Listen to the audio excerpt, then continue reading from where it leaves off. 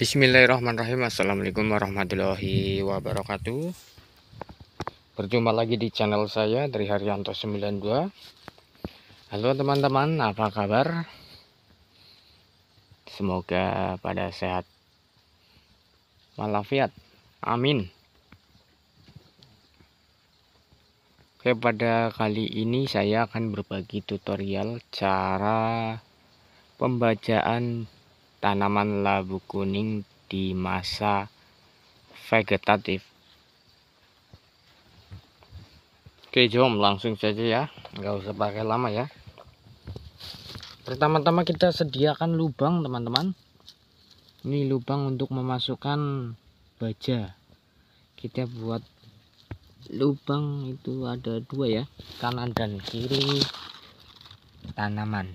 Ini kanan kiri umbi ya teman-teman ya. Jangan terlalu dalam.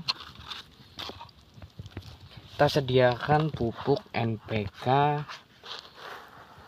12 12 17 plus TE kemudian kita sediakan alat ini tap ya teman-teman. Kemudian atasnya ini ada bekas botol minuman. Caranya kita masukkan gini ya biar kita tidak menunduk-nunduk. Ini kita bawa kita gendong. Nah seperti ini. Kita ambil bajanya segini saja. Jangan terlalu banyak teman-teman. Kita masukkan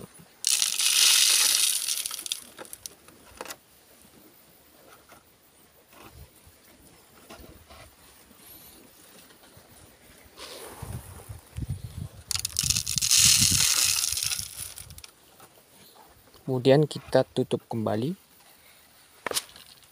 Ini ya.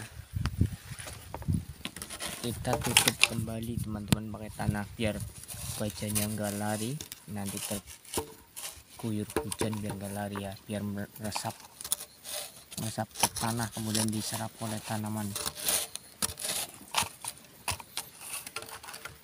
Baja tersebut berfungsi untuk mempercepat pertumbuhan vegetatif tanaman.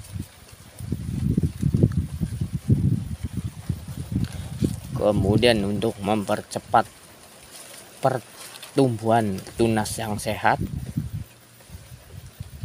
serta batang dan akar yang sehat dan lebih kuat. Kira-kira seperti itu ya teman-teman